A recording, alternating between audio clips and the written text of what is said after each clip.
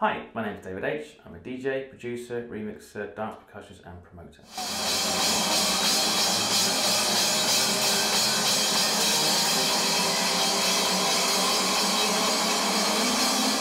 In my time as dance percussionist, I've been fortunate to play some of the best clubs in the world.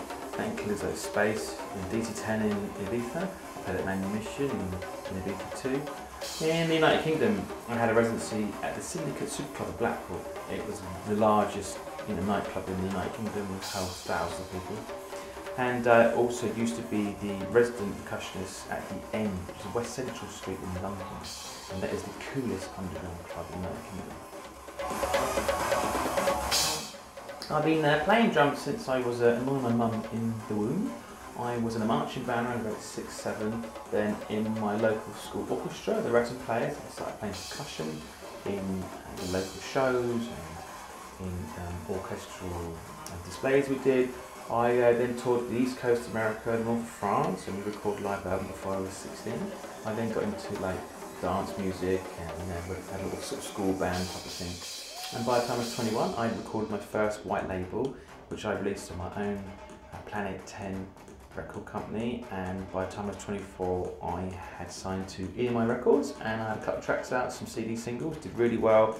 Then MCA Universal Publishing got hold of me, they signed me. Pete Tong from Radio 1 put a record of mine out, and a guy called Ferry Corsten then remixed that track.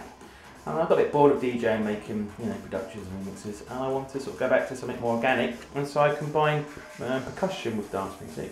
Since I know how to sort of you know, mix a record and its structured arrangement, I was quite good. Generally love playing drums, generally love music, and it was actually more. Um, more of a better way to express myself, and I found the crowd like it as a, a way of um, connecting with them. So for the last three years, I've had a residency at Heaven Nightclub in the West End of London.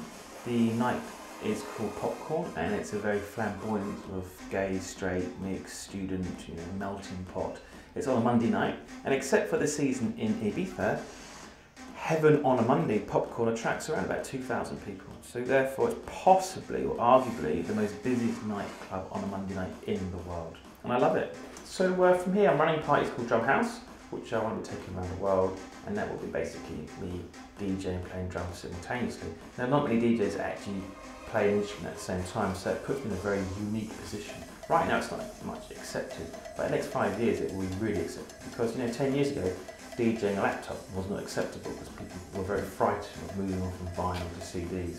So now that laptop DJing is acceptable and everyone can really get the same software and the same downloads, people are looking for more performance, they want to be entertained. So to have a DJ and a percussionist separately, it does work. But if I can do the same, you know, the same thing together, that puts me in a position where a promoter is to buy me. But when I turn up, I really got a the experience. I know what I'm playing. There's no surprise, and it'll be a phenomenal show. So for me, to do it myself as a promoter, can do the best capital gains.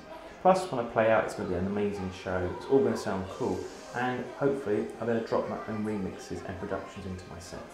So yeah, I really, really like what I do. And the reason why I like it purely is because I like playing drums, and I like dance music. So to get paid for something you really like is one of the best things in the world.